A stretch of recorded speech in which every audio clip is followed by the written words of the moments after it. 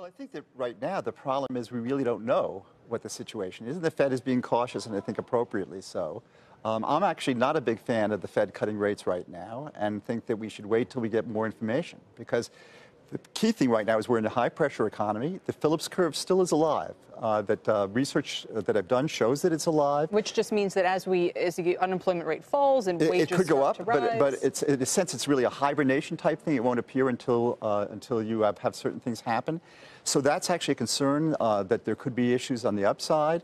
On the other hand, there's a lot of issues right now on the downside. Many of them coming from the political sphere. Mm -hmm. So uh, in, and that's very hard to predict. So my view is the Fed should be waiting right now. I would like them to articulate a little bit better how they will react given different scenarios. This is something the Fed has never done as well as it should. Uh, again, this is an issue that, that I've uh, looked at, uh, quite a bit at, at and uh, that explaining what they will do in the future so the markets can understand what that and then react. What scenarios are you thinking of right now that you would like the explanation for? So uh, uh, clearly, scenarios are we could see that that Trump meets with Xi and he, you know, threatened everybody, and then he says, "No, we've got a great deal," and that's a very different world than we're worried about right now because clearly a lot of the, the, negative aspects that we're worried about in the economy are coming from the geopolitical sphere. Uh, the, the, issue of trade war is a scary thing. It will have very negative impacts, not only on the economy in the U.S., but clearly elsewhere. And that's something that the Fed will have to take account of. But on the other hand, uh, Trump is a negotiator. That's what he, it's all about the art of the deal.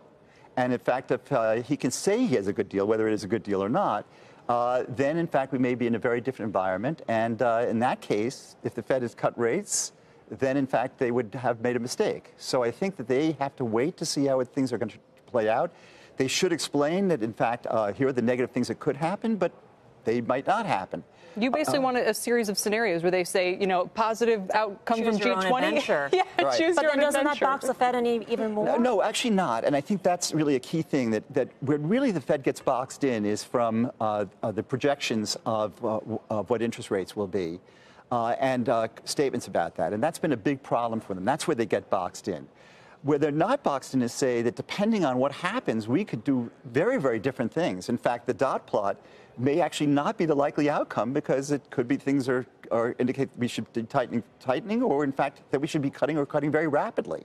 So it depends a lot on what the circumstances are, and if the market understands that, they can actually do some of the heavy lifting of the Fed. Even before the Fed acts, if something happens, the markets will act in a way that will actually help monetary policy. Speaking of the markets, with the markets just a percent away from record highs, how does that, how should that factor in, in your view?